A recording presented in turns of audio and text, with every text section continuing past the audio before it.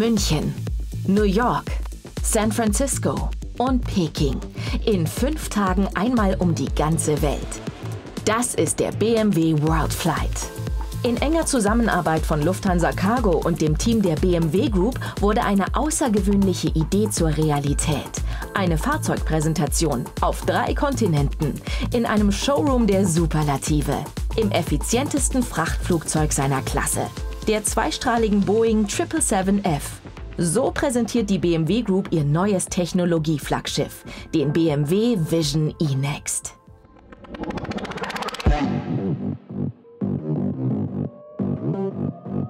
Doch von Anfang an. Puchheim bei München.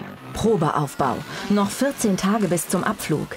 Alexander Bilgeri, verantwortlich für die Unternehmens- und Produktkommunikation, beschreibt die Situation vor Ort. Manchmal hat man den Eindruck, das ist hier alles gerade im Vorfeld so ein bisschen wie ein Computerspiel. Man bewegt sich von Level 1, 2, 3 immer weiter und auf einmal sieht man, dass das nicht äh, Skizzenblock und Scribble ist, sondern dass da reale Menschen dahinter stehen. Ganz schön viele sogar. Über 120 Menschen arbeiten an diesem Projekt. Da das echte Flugzeug nur für einen kurzen Zeitraum aus dem regulären Linienverkehr gezogen werden kann, haben die Messebauer den Flugzeugrumpf in der Puchheimer Halle eins zu eins nachgebaut. So präzise wie möglich entsteht darin der Showroom, der in nur 14 Tagen in der echten Boeing glänzen soll. Parallel dazu stellen die Bühnentechniker Projektoren und Co. im Flugzeugdummy auf. Der Nachbau des Innenraums einer Boeing 777F ist auch für Bauleiter Konrad Fischer eine Premiere. Baulich ist es natürlich sehr anspruchsvoll, da wir hier mit keiner Standardware ähm, arbeiten können. Sprich, wir haben hier ganz viele äh, individuell gefertigte äh, Detaillösungen kreieren müssen, da hier nichts gerade ist und alles eigentlich dreidimensional in jede Richtung verzogen ist. Und das ist eigentlich die Challenge, äh, die wir uns gestellt haben. In diesem exklusiven Closed Room-Konzept erleben die Gäste die Inszenierung des Visionsfahrzeugs. Doch warum die Verbindung von Fahrzeug und Flugzeug? Weil die Menschen ja durchaus immer ein Problem haben, ähm, wenn sie denken, dass ein Auto kommt, ihre Kinder abholt und irgendwie eine Maschine einen irgendwo hinbracht. Und in dieser Diskussion haben wir gesagt, wieso Menschen erleben autonom sehr häufig, nämlich dann, wenn sie sich in ein Flugzeug setzen. Denn Flugzeuge fliegen lange Strecken mit Autopiloten und ganz ohne den Eingriff des Menschen. Stück für Stück bauen die Experten die Präsentationsfläche auf speziell umgebaute Cargo-Paletten. Nach 42 Tagen Arbeit ist der Probeaufbau fertig. Mitarbeiter der BMW Group und Lufthansa Cargo sehen endlich live, woran sie in den letzten neun Monaten so hart gearbeitet haben. Trotz aller Anspannung steigt die Vorfreude beim gesamten Team. Alexander Bilgeri ist optimistisch. Und jetzt gilt es nur noch, die, die, Daumen zu drücken, dass alles läuft, dass wir in die Städte reinkommen, dass die Menschen dann reinkommen, dass wir präsentieren können und dass es das gleiche tolle Gefühl auslöst wie hier jetzt so äh, hier in der Halle, dass jetzt schon die Spannung steigt. So am liebsten gehe ich jetzt gleich mal zu den Kollegen und sage, warum fliegen wir nicht morgen schon los?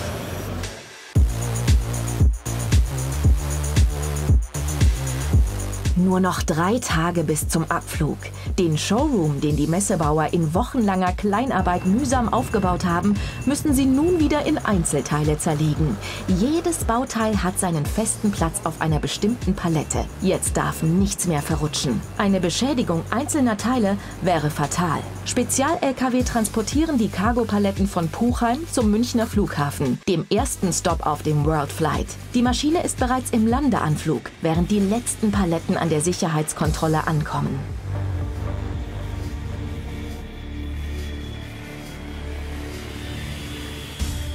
Endlich ist sie da.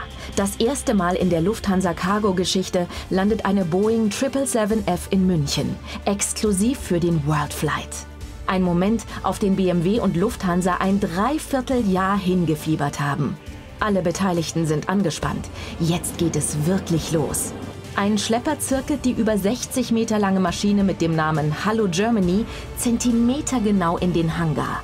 Die Aufbaucrew kann den engen Zeitplan nur einhalten, wenn das Flugzeug auf der perfekten Parkposition steht. Für Projektleiter Ingo Wirth ein echter Meilenstein. Es ist ein unglaubliches Gefühl und wir hatten gestern äh, einen ganz besonderen Moment, als die Maschine gelandet ist ähm, und das große Hangartor hier geöffnet wurde, um die Maschine dann hier auch ähm, äh, rein zu sozusagen.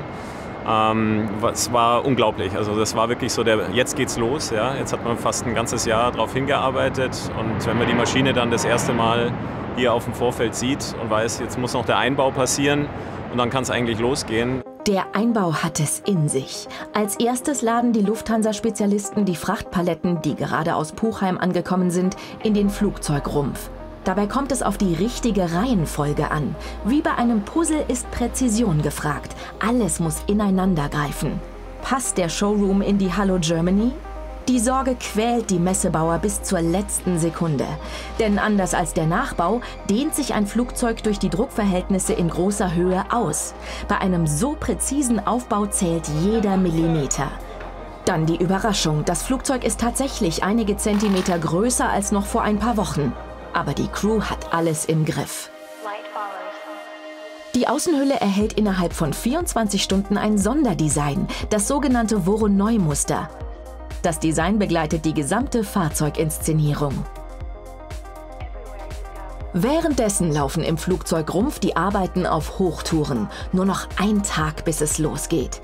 Die Techniker verlegen mehr als 7,5 Kilometer Kabel. Sie verbauen 78.000 LEDs in 165 Videomodulen und 10 besonders lichtstarke Projektoren. Loadmaster José Duarte Fuentes ist begeistert von der, der, Version äh, der Paletten im Main Deck. Äh, das haben wir als Lufthansa Cargo noch nie gemacht. Ja. Es ist eine zwar von Boeing veröffentlichte Version, ich habe aber weltweit noch nie davon gehört, dass das überhaupt schon mal so geflogen wurde, die Konstellation im Main Deck. Ja, es ist immer spannend. Also guckt rein, ja. Also das ist, äh, wer macht sowas? Die Lufthansa Cargo und die BMW Group machen sowas. Denn ein besonderes Fahrzeug verdient auch eine besondere Präsentation. Im Flugzeuginneren bringen Experten nun den BMW Vision E-Next in Position. Ein besonderes Highlight, die Drehscheibe. Sie ist ein Unikat, denn sie ist die einzige weltweit, die Techniker für den Transport in der Luft zusammenklappen können. Das Projektteam hat sich intensiv mit den hohen Sicherheitsauflagen von Flugzeug und Flughäfen beschäftigt. Wir sind natürlich an vier internationalen Großflughäfen unterwegs, äh, die alle sehr, sehr strenge Sicherheitsauflagen haben. Denen müssen wir natürlich gerecht werden. Und hier in München war die Besonderheit, dass wir nicht nur 24 Stunden vor Ort sind, sondern auch noch zwei zusätzliche Tage den Flieger hier stehen haben, weil der gesamte Einbau natürlich hier stattfindet. Und äh, das bedeutet, dass hier deutlich mehr Leute aufs Vorfeld bzw. hier in den Hangar müssen. In nur zwei Tagen hat die Aufbaucrew im Hangar die Frachtmaschine in einen Showroom verwandelt. Noch fünf Stunden bis zum Event. In den frühen Morgenstunden zieht ein Schlepper die Boeing aus dem Hangar und bringt sie auf einen ganz besonderen Parkplatz, die sogenannte Staatsposition. Sonst stehen hier Regierungsmaschinen. BMW und die Lufthansa haben es möglich gemacht, dass die Hallo Germany auf diesem prominenten Platz stehen darf.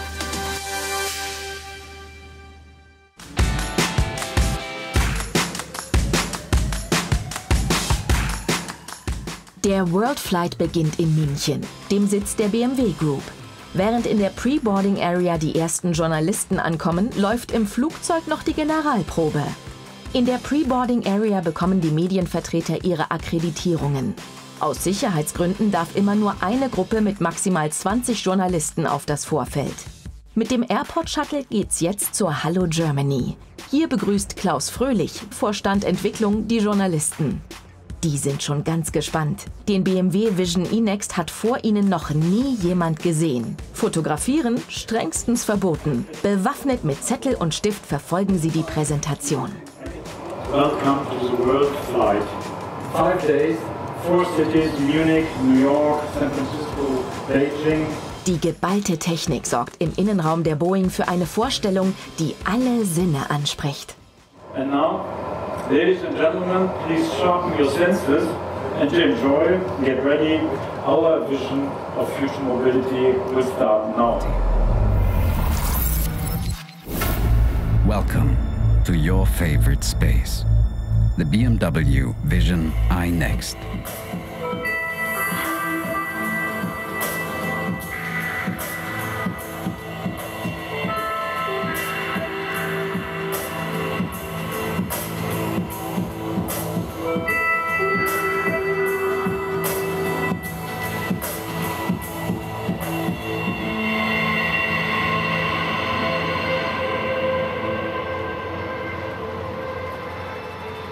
Jetzt haben die Journalisten zum ersten Mal die Gelegenheit, das neue Visionsfahrzeug zu erleben. Der Leiter von BMW e-Design, Domagoj Dukic, fasst zusammen. Es ist bloß jetzt spannend, äh, das Auto jetzt in einer sehr ungewöhnlichen Präsentationshalle zu sehen. Natürlich gibt es manchmal auch Closed Rooms, die sind auch recht eng, aber im Flugzeug haben wir das noch nie gemacht. Ist schon besonders. Das Auto ist ja nicht ein kleines Auto, Sowas erlebt man höchstwahrscheinlich nur einmal. Auch äh, werden höchstwahrscheinlich jetzt nicht Leute anfangen zu kopieren. Insofern sind alle Leute, die dabei sind, äh, sehr aufgeregt und äh, froh, sowas erleben zu können. Anschließend bleibt noch Zeit für Fragen in der BMW eNext Lounge. Die Präsentation in München, dem ersten von vier Stops, war ein voller Erfolg. Alles hat reibungslos geklappt. Doch es bleibt keine Zeit zum Ausruhen. Den Bühnentechnikern bleiben gerade mal vier Stunden, um alles wieder abzubauen und flugfertig zu machen. Der Abflug ist für 23 Uhr geplant. In München herrscht ein Nachtflugverbot. Wenn der Flieger jetzt nicht rechtzeitig vor Mitternacht abhebt, wäre der gesamte World Flight in Gefahr. Dann endlich die Startfreigabe für Startbahn Nord. Ziel JFK. Ready for Takeoff.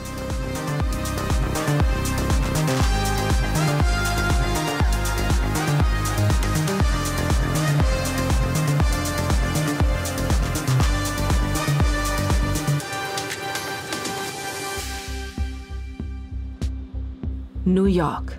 Regen. Nach über 4000 Flugmeilen ist die Boeing 777F am Flughafen JFK gelandet. Die Aufbaucrew hat jetzt nur acht Stunden Zeit, bis die ersten Gäste kommen. Erstmal muss das Team checken, ob noch alles an Ort und Stelle ist. Schließlich war es die erste Reise des fliegenden Showrooms. Doch die präzise Vorarbeit hat sich gelohnt. Die wertvolle Ladung ist unversehrt. Die Maschine steht am JFK in einem ehemaligen Enteisungszelt. An diesem Tag genau die richtige Wahl. Denn obwohl draußen Ausläufer von Hurricane Florence toben, kommen die Journalisten sicher und trocken am Flugzeug an. Der Leiter von BMW Group Design, Adrian van Hooydonk, präsentiert den Vertretern renommierter Medien den BMW Vision e-Next. This car um, shows the next step in the design language for BMW i. It is a very clean, bold and sexy shape, very sharp lines. Uh, it looks like it was uh, almost milled out of one block. Der BMW Vision e-Next steht sinnbildlich für den Aufbruch in ein neues Zeitalter der Freude am Fahren. Hochautomatisiert, emissionsfrei und voll vernetzt integriert er erstmals die strategischen Innovationsfelder der BMW Group in einem Visionsfahrzeug. Das sind autonomes Fahren, Connectivity, Elektrifizierung und Services, die sogenannten ACES plus Design. The interior then uh, is inspired by uh, boutique hotels, so it's not like anything you've seen in car design before, it's more like a living room. Uh, and this is where we want our customers to uh, really enjoy the time that they spend there. My Favorite Space, ein modern eingerichteter Raum zum Wohlfühlen auf vier Rädern. Der BMW Vision e-Next ist auf die Bedürfnisse der Kunden zugeschnitten. Einzigartig ist die sogenannte ShyTech-Technologie. Sie verwandelt unscheinbare Oberflächen in einen außergewöhnlichen Touchscreen und gibt dem Interieur ein ganz besonderes Flair. Doch für Entspannung bleibt dem Team keine Zeit. Nur vier Stunden nach der letzten Präsentation hebt die Boeing wieder ab.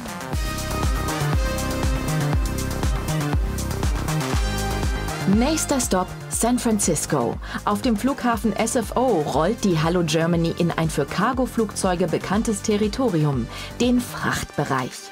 Wie im regulären Cargobetrieb darf die Maschine hier zwischen Frachtgütern aller Art parken. Der Aufbau in der Boeing ist mittlerweile Routine. Der Golden State Kalifornien empfängt die Journalisten mit strahlendem Sonnenschein. San Francisco ist der dritte Stop des World Flights. Diese Station ist besonders wichtig für die Präsentation des BMW Vision e-Next, wegen seiner Nähe zum Silicon Valley, einem der bedeutendsten IT- und Hightech-Standorte der Welt.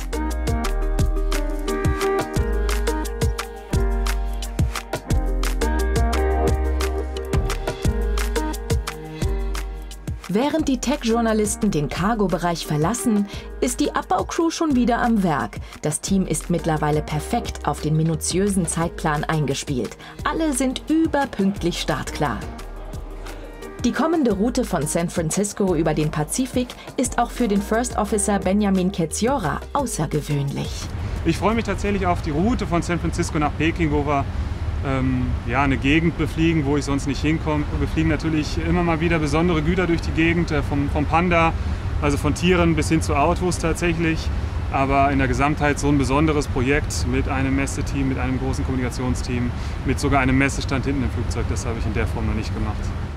Jetzt nur noch die Wetterlage checken, dann kann es losgehen.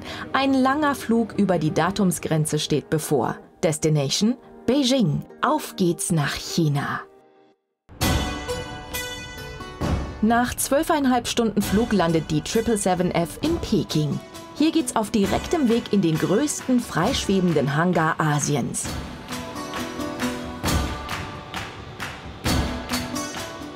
Die besondere Herausforderung bei der Planung, über 100 Gäste müssen in den Sicherheitsbereich des chinesischen Hauptstadtflughafens. Unbelievable. Unbelievable. It's a, it's a crazy idea, to be honest, yes. Das Projektteam macht die verrückte Idee durch einen Kniff wahr. Sobald die Hangartore geschlossen sind, steht die Maschine auf der Landside, also nicht mehr auf dem Flughafengelände. Jetzt können die Journalisten kommen.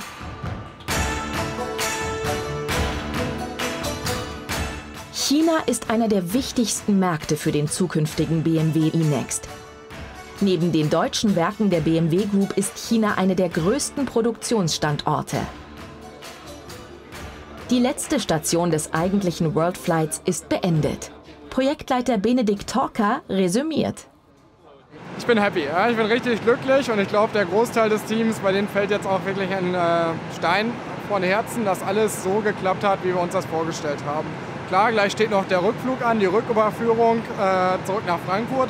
Dort findet dann der äh, Ausbau vom ganzen Equipment statt aber dass wir es wirklich geschafft haben, an allen vier Destinationen jeweils in kompletter Anzahl die Gruppen durchzuschleusen, ähm, das war wirklich, ja, ist ein tolles Gefühl und ähm, ja, wir freuen uns einfach, dass das so funktioniert hat und sind sehr dankbar.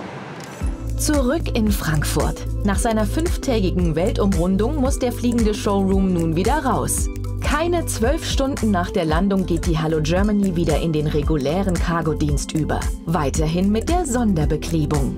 Nicht nur die Hallo Germany fliegt weiter, auch der BMW Vision e-Next hat noch eine Reise vor sich. Auf die internationale Autoshow 2018 in Los Angeles. Vom Flughafen geht es direkt zur Event-Location. Hier feiert der BMW Vision e-Next seine Weltpremiere und fährt autonom. Der BMW Vision e-Next hat auf dem World Flight in zahlreichen Medien viel Aufmerksamkeit bekommen. Auch in den eigenen Reihen war der World Flight ein voller Erfolg. Vorstand Klaus Fröhlich fasst zusammen in weniger als fünf Tagen einmal um die ganze Welt fliegen und dort immer ein so innovatives äh, Projekt wie den BMW iNext vorzustellen, ist was ganz Besonderes. Es ist wie eine Druckbetankung, weil die verschiedenen Sichtweisen in diesen Regionen oder Meinungen habe ich aufgenommen und sind mir auch eine wertvolle Hilfe bei der Weiterentwicklung des Produktes. Und für mich noch was Besonderes als Vielflieger, einmal über die Datumsgrenze zu fliegen, war für mich auch etwas nicht Alltägliches. And the show goes on. Weiter geht es für den BMW Vision e-Next auf die CES in Las Vegas. Hier haben die Besucher der Consumer Electronics Show das erste Mal die Möglichkeit, virtuell mit dem Visionsfahrzeug zu fahren. Für beide Unternehmen war dieses Mammutprojekt eine Weltpremiere. Lufthansa Cargo-Vorstand Peter Gerber blickt zurück. Wir haben begleiten können, wie Transport Next Level stattfinden kann. Ich glaube, was uns da verbindet, ist ganz klar. Erstens das Streben nach Innovation, also Innovation im Sinne auch von Marktführerschaft, hier die Ersten zu sein, äh, jeweils äh, in der Branche. Zweitens die Liebe zur Ingenieurskunst und zum Produkt. Das heißt also, das zu machen, was man machen kann und das möglichst perfekt zu machen. Perfekter, als es jemand anders kann. Ich glaube, das kommt hier zusammen und natürlich drittens hat es auch ein bisschen was mit Made in Germany zu tun. Nur durch die Zusammenarbeit beider Unternehmen konnte dieses einzigartige Großprojekt umgesetzt werden. Ein Ausblick der BMW Group auf die Zukunft der Mobilität im größten zweistrahligen Frachtflugzeug der Welt.